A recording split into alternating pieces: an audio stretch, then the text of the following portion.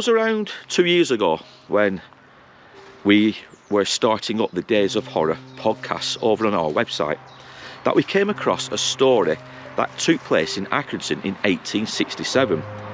Now, unbeknownst to us at the time, we never once thought that that one story would kickstart the channel and the website as into what it is today. We never thought our YouTube channel would evolve from maybe that one story.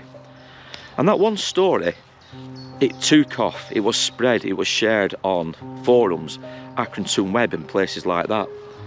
And we started to get quite a few followers to our website who were listening to our podcast stories. We never once dreamt that that one story would, like I said, take us to where we are this very day with over a thousand subscribers, I think 1,114 subscribers on YouTube. But it is what it is, and like I keep saying, we do thank each and every subscriber on our YouTube channel. But as for the story itself and the podcast that we, we did and we covered on this story, it took place on the 1st of March 1867, like I said, over in Accrington and it was one, if not the most tragic and disastrous affair to ever take place over in Accrington. And it involves the death or the deaths of nine innocent little children.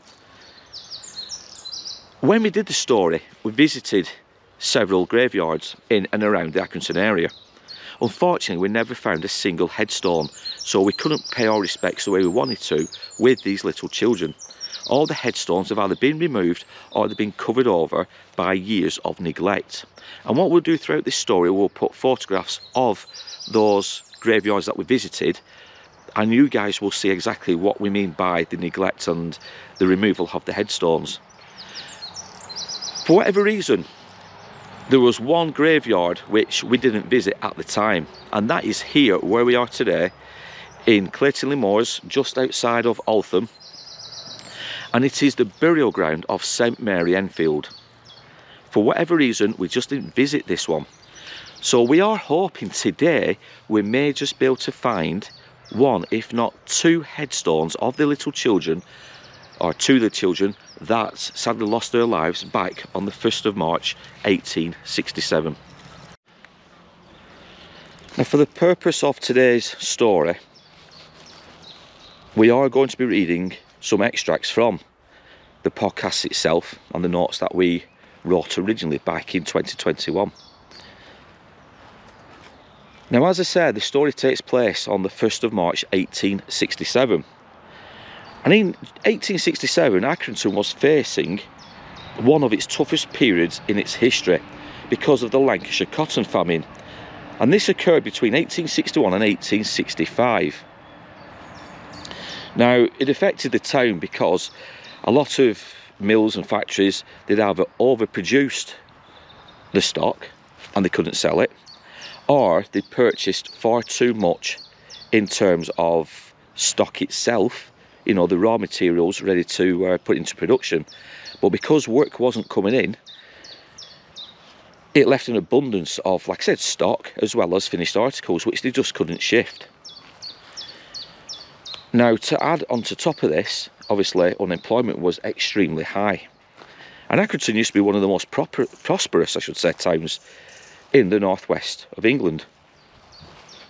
Now, on the 1st of March 1867, there was a young lady who was aged around 24 years of old by the name of Letitia Burscough. Now, she was a schoolmistress, I think it was for the St Oswald's Catholic School, and she used to live at 96 Blackburn Road. Now, adjoining Blackburn Road, there's Edgar Street, and Edgar Street is where she had rented out some premises to teach young school children. Now, it was three months when, or I should say, after Letitia had moved premises and she hired out some some space or a room I should say in the premises owned by James Duckworth. Now James Duckworth was a 52 year old businessman and he owned some property that was built underneath the arches of the Lancashire and Yorkshire Railway. um, viaduct over in Accrington. Now, I think James himself and his business had only been operating there since around 1866, so it was relatively young and, you know, like uh, it was like a, a flourishing business at the time. And he specialised in heald knitting and varnishing, which basically is a process of making lengths of cord which had an eye through the middle, which would allow like the I think it's the warp threads of a loom to raise and lower which allows shuttles to pass through the weft sounds very technical but if you look it up on Wikipedia and on Google you'll um, I think you'll you'll understand what I'm trying to say and I'll show some diagrams of what heald knitting actually is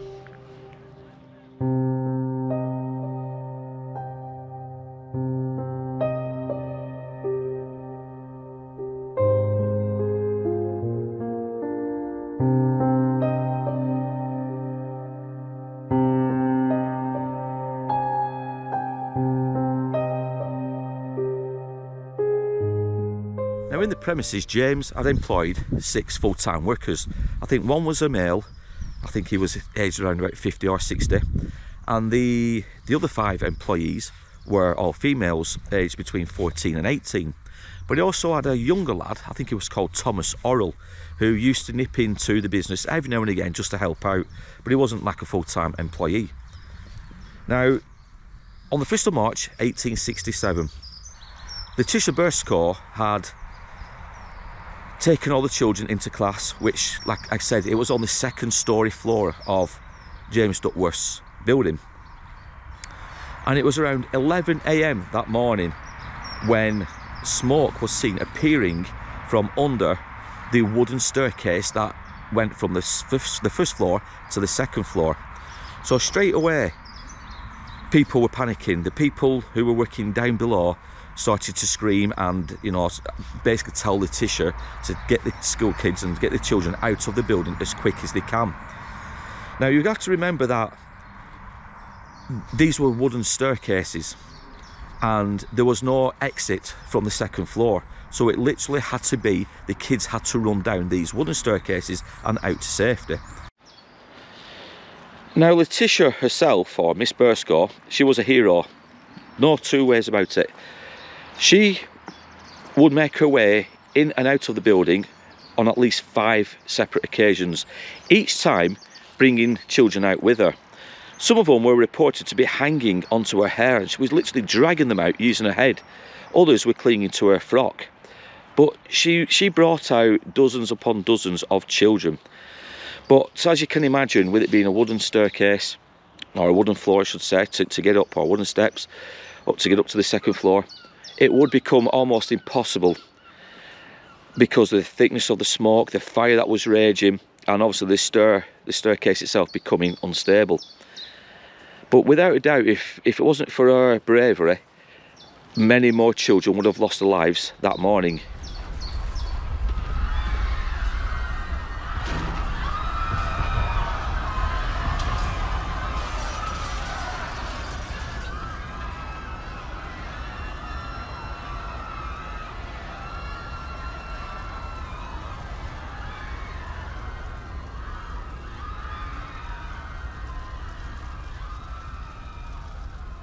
Now living in one of the terraced houses which was quite close to the archway and where Duckworth's business was and obviously the school itself was a young Lancashire Constabulary officer by the name of Richard Burton. And he obviously heard the screams and he saw what was quickly occurring. Now he managed to make his way up the wooden staircase, up into the schoolroom and he would smash the windows from the inside. And this was to hopefully he was hoping to dangle the children out of the window and to lower them down to safety.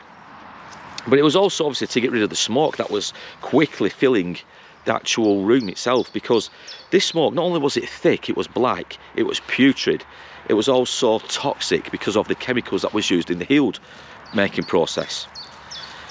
But just like with Letitia and going in and out of the building, it got to the point where it was becoming just too dangerous. And fearing for his own safety, he had no option but to actually jump out of one of the top upper floor windows. Now, he would also be shouting for help. He wanted other people to come in to bring ladders and put the ladders on the outside so he could get the children out to safety. But there was a lot of confusion. People didn't really know what to do. And you've got to remember that fire and fire regulations back in the 1800s, especially the uh, mid to late 1800s, I should say, again, it was pretty basic. Ladders had to be transported from nearby houses and that's if they had the ladders that's if people actually possessed a, a, a pair of ladders to, in, the, in the first place so it became very very confusing and people were panicking very quickly what happened then is Richard himself jumped out of one of the upper floor windows as I was just saying as he then attempted to make his way back in the staircase itself collapsed under the weight of the fire there was no escape for the remaining children that were upstairs. And like I said at the very start, there were nine innocent little children who, unfortunately, they would be left abandoned for no fault of anybody's. And they all cowered together, or the majority of the nine cowered together in the centre of the room.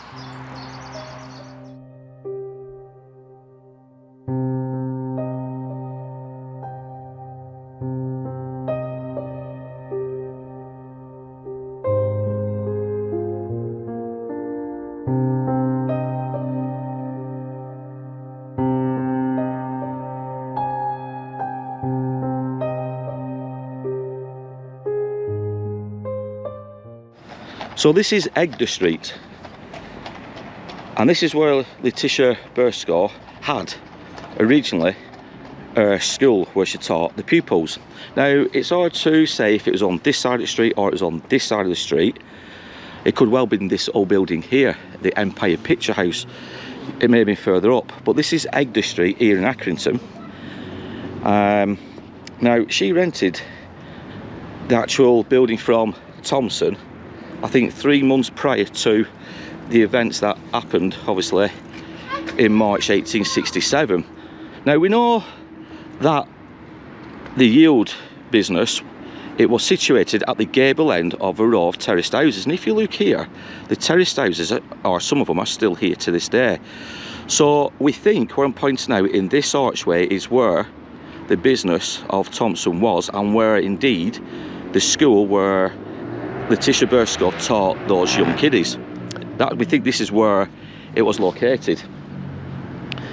Now obviously it's all changed over the years. You've got new road network set up.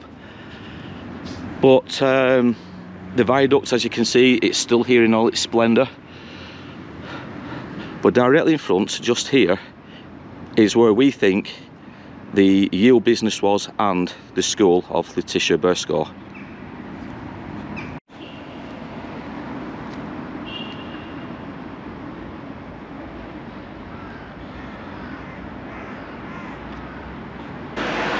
Now it's hard for us to even comprehend because obviously so much has changed. But to imagine that between these archways here is where the business used to be and where the building itself burnt down, killing nine innocent children. There were over, or there were between 90 and 100 pupils in attendance that Friday morning when the fire broke out and nine of them sadly lost their lives.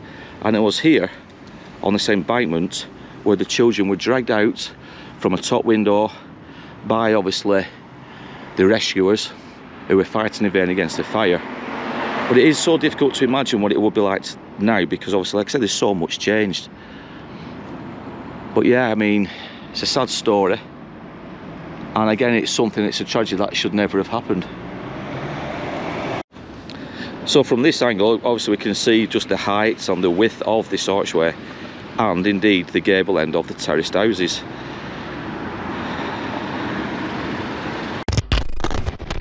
It was just at the top of this street on Blackburn Road where obviously Letitia lived with her parents Peter and Sarah as well as her brothers and sisters. So it was literally a, not even a five minute walk each day from Blackburn Road which is at the top down Edgar Street and to where she worked.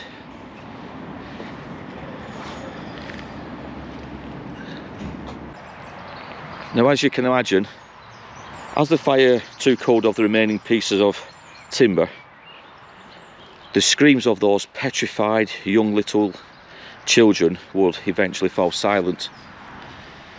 And outside, a large crowd had assembled with women and obviously the other school children who were rescued. They were all crying hysterically. Now, as all this was happening, you had the press reporters who had made their way to the scene. And they were describing in detail, if you read some of the articles in the old newspapers, they were describing in detail the horrific scenes that they were witnessing. Like I said, you had the children who were rescued outside in tears. You had the parents of those those children also hysterical. You also had the parents of those kiddies that were trapped upstairs. Just obviously helpless. They couldn't do anything to save their children. Now it would take just over an hour for the flames to die down just enough for Richard Burton and another man, this time named James Crossley, to enter the second floor. Now what Burton and Crossley encountered, like I said, would stay with them for the rest of their lives. It was unimaginable what they were going to encounter. Now, as I said uh, before, the um, the nine children themselves, they were huddled together, they were found huddled together in the centre of the room. They were blackened from the fire and the smoke. Many of the limbs on many of the children were contorted in all kinds of positions. It was reported that some of the children's features, the facial features, the hands, the arms, were so burnt that even by trying to lift the bodies from the floor so they could take them downstairs, some of the limbs would literally just disintegrate into powder, into fine powder. The bodies were so badly destroyed. There was no clothing. All the clothing had been burnt off or singed to the bodies. So making identification was very, very difficult. And we have to remember again that we're talking 1800s. There was no DNA. There was no, there was no fingerprints. In, and even if there was, like I said, the hands were so badly disfigured and badly burnt that even the skin had come away. It was also reported that on one of the children, half of the skull itself had just gone. The fire was that intense, it was raging for that long, these poor little souls had no chance. And we can only, well, we can't, I mean, it's difficult, but one can only imagine the fear that these little kiddies must have felt in those last few moments of their life, screaming and wanted their parents, their mothers, their fathers to come and rescue them. And they, they, they were all huddled together in the centre of the room, just trying to give each other comfort in those last dying moments. And when I read this story, when I when I read that for the first time, it, it was really upsetting because these are little children, ages were ranging from three, I think, to nine. So they weren't teenagers, they weren't adults. These were just little children who had done no harm to anybody, who were still learning, they were growing up and like I said we can only imagine the fear that they were going through at the time. But it's just the fact and it, I don't know what it is but it, I, I, I don't know if it's the way it's worded that they were huddled together in the centre of the room. That makes it as well I mean I know it's upsetting and it may be upsetting for you guys but just to read that alone it really does hit home just how tragic this this incident was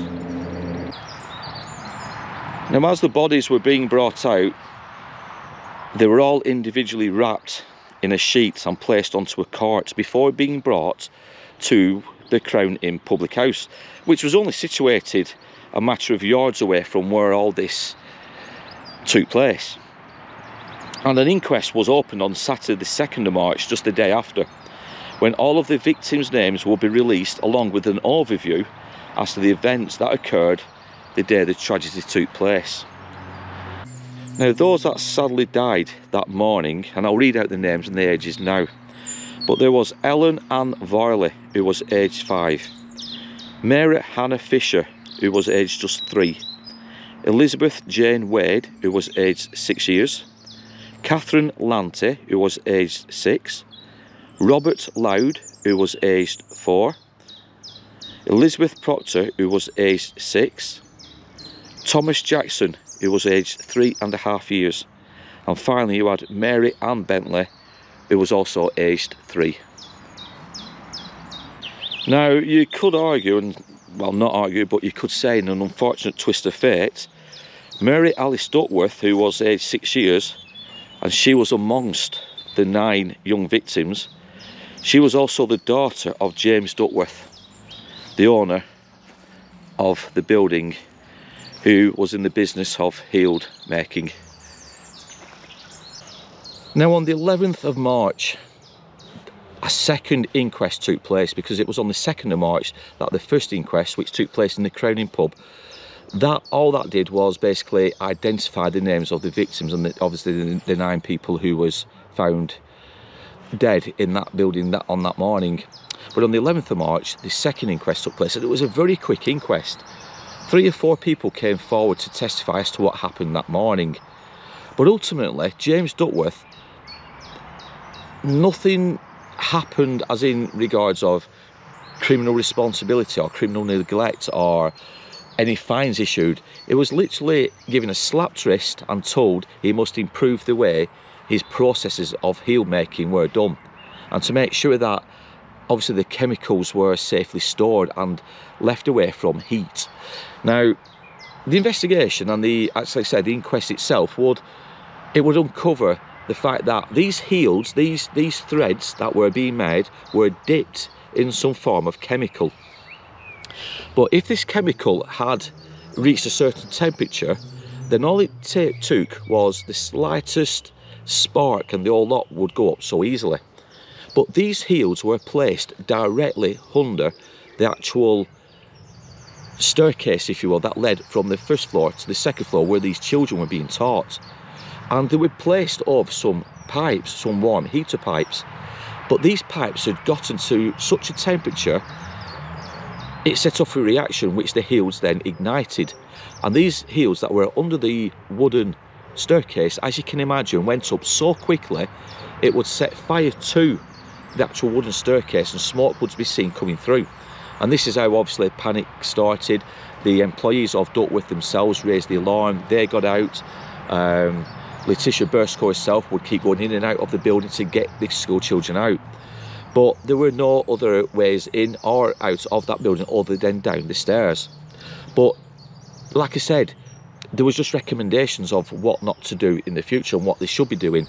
So like I said, not putting the heels, especially on the staircases, which were flammable. Um, it's common sense to us nowadays, but back in the day, you know, space was at a premium. Finances were very tight, I suppose, like they are today. So people were cutting corners. And I suppose in a new fledgling business such as Duckworth, who'd only been in operation since 1866, you could say it was still finding its way. Still no excuse. Obviously, there was a lot of neglect. A lot of things should have been done a lot better than they were. But ultimately, on this, or in this case, this story, the neglect and the the way things were done back in the 1800s, it sadly left nine innocent people all alone in a room, hoping that their parents would come and rescue them. That hope soon soon faded away because, like I said, there was just no way for people to get into that building and up that second story floor, if you will, up through the steps easily. The fire itself had taken hold so quickly, it must have been absolutely frightening and horrendous.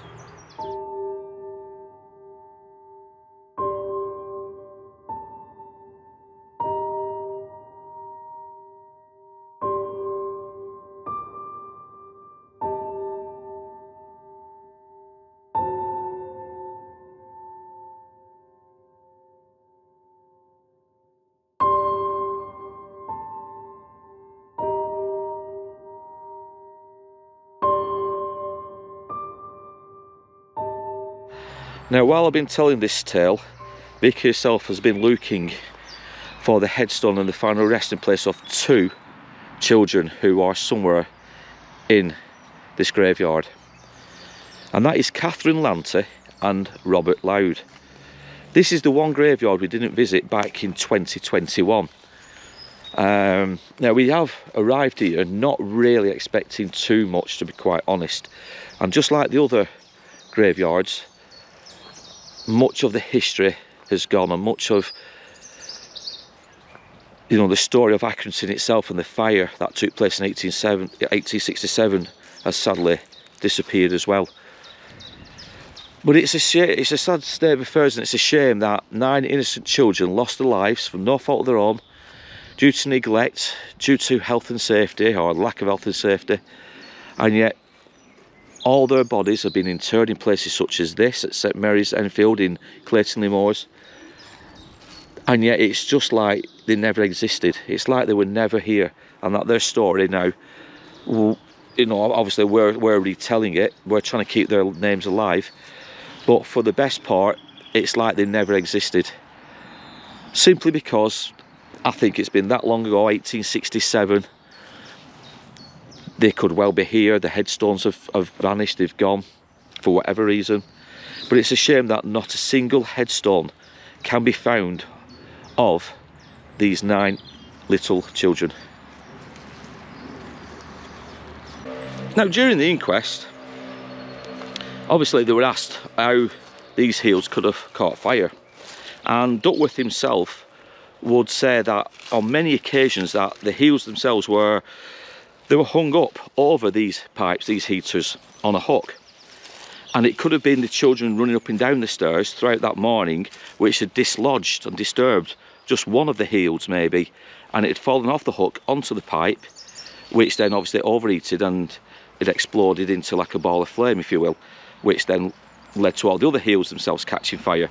Plausible theory. Nobody will ever know because like I said it was Thomas Orrell who did state that some of the heels were sometimes placed over the warm pipes just so they dry quicker and other witnesses would say that the heels were hung up on these hooks but I suppose that's irrelevant in the grander scheme of things. The fact is, these hills were placed close to or on these warm pipes.